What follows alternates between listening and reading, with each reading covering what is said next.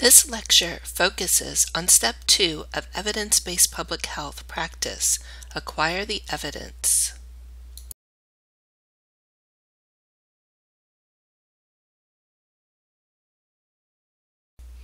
The learning objectives for this lecture include applying best practices for searching resources, how to access those resources, and describing in more detail hints for searching these resources.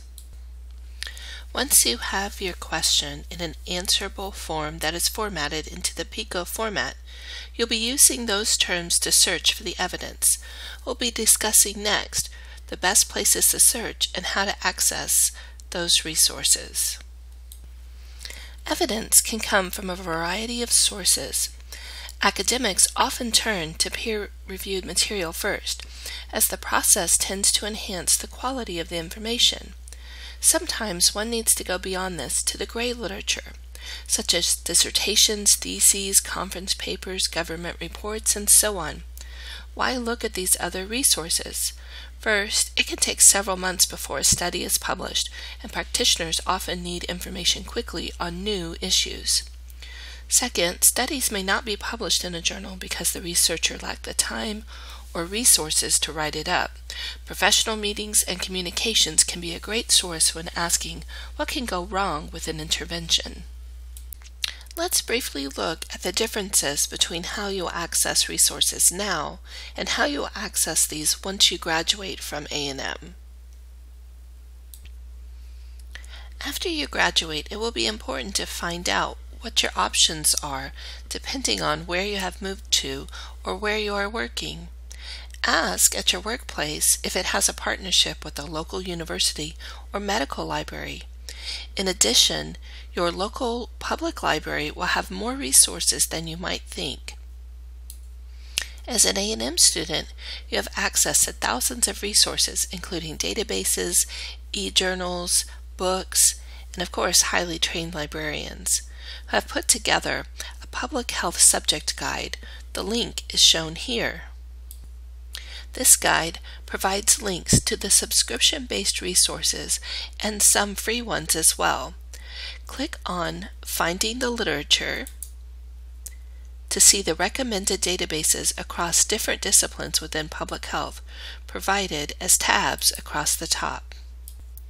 This figure is a generalized way of thinking about the available evidence. First listed is systematic reviews and other synthesized research. We'll talk about that more on the next slide. Next, primary studies, followed by surveillance and other data, legal and policy documents, books, and lastly, internet searches. Let's start by looking at systematic reviews. There are three main types of reviews, narrative, scoping, and systematic.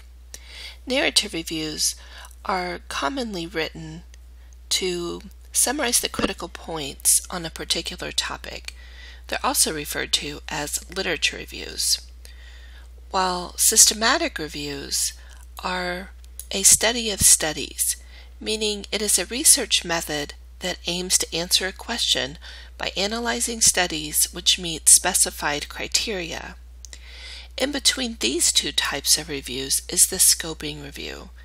This has a broad question, just like a narrative review tends to, but it also has a set of methods that you follow and describe to your reader, which is more similar to a systematic review. So in comparing the reviews, narrative reviews tend to have a broad question be very subjective, and provide little information on the methods, while the systematic review focuses on a specific question, should be very objective, and have its methods clearly and appropriately described. Although the recommendation is to start with systematic reviews and primary studies, many people start at the bottom of the pyramid, going directly to Google. While it has its advantages, Google is not a reliable source to quickly get to the most useful evidence. The National Library of Medicine has been called the largest public health library in the world, NLM has numerous projects to support and collaborate with public health agencies. The National Network of Libraries of Medicine under NLM is made up of eight regional medical libraries selected to support and access health information to health professionals and patients. On a local level, institutional, hospital, and academic, and even public libraries can help support access to health information. The National Library of Medicine provides many online resources. This slide shows four. Of course, the most well known is PubMed. A newer resource is PubMed Health, which focuses just on systematic reviews. In addition, there is phpartners.org. This provides links in collaboration with multiple agencies. Lastly is Medline Plus. This is the National Library of Medicine's consumer health resource. Let's tour PubMed briefly, as most of you have probably searched it many times before. In this example, the population is children, the health issue, obesity, and the interventions we are looking for are community-wide. Notice that the limits on the left side navigation includes review. Unfortunately, this review tag includes all types of reviews, not just systematic reviews and meta-analyses. While you are affiliated with Texas A&M, if you go to PubMed through any of the library's links, you can get full text by clicking on the Find Text at TAMU button near the citation. Of course, PubMed also has links to many free resources, so you may have seen any of these buttons shown here. To assist in finding and sorting citations quickly into primary studies and systematic reviews, PubMed has a set of queries called clinical queries, which you can see here. Once you go to this page, you can enter a term up at the top, and then it will quickly give you results in clinical study categories, systematic reviews, and medical genetics if you're interested in that. Lastly, if you already know the citation that you are looking for, try the single citation matcher. This will take you to a page where you can enter the information that you already know to quickly get you to the citation you are looking for. PubMed now has a new resource called PubMed Health, which is a collection of systematic reviews from 2013 to now. It includes many systematic reviews already available in PubMed, plus many others. You can get to it by clicking on the drop-down in PubMed and selecting PubMed Health. From there, you will quickly see what's new. In addition, there are resources just for researchers that will help with effectiveness research methods. This includes many books, which are free to read online. Including understanding health statistics, better research for better health care, and making sense of health advice.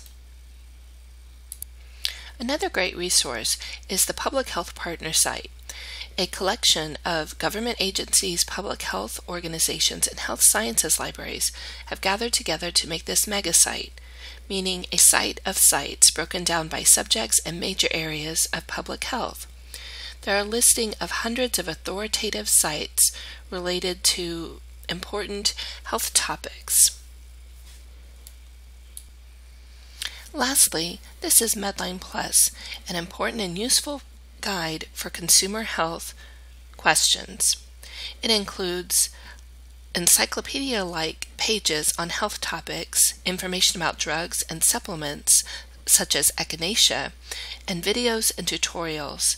It can be transformed into a Spanish language site and also a site to make it easier for the elderly and those with sight issues to read.